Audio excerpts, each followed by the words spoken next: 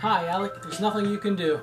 You got a better chance of fucking than ever seeing round two. But your dude Breezy, he gonna slide through easily, even if you try to rally again to tally a win. Believe me, check my chest. I breathe easy. I'm not asthmatic, so I'm better than Wheezy. Get it?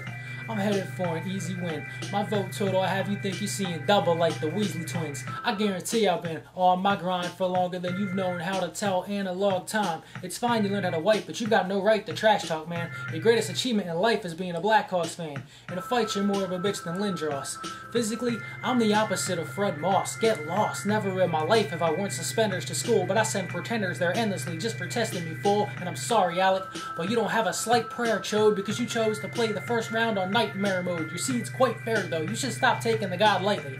You're in a tier with Cuban Top and Mod Nike. You fucking Aspie, your mother was a crack addict. We only took a look at your book so we could laugh at it. But take a stab at it, top catcher in the rye. But stop dreaming, you can't outright that euchre guy. Still a die, what's the beating? You get clown, doesn't matter. They still vote for me in the next round. To vote for you would be truly heinous. The five votes you do get will be from QB haters, bitch later. It's time for Dirk or Blood to get wrecked. Who's on the checklist next to get left in a bloody mess?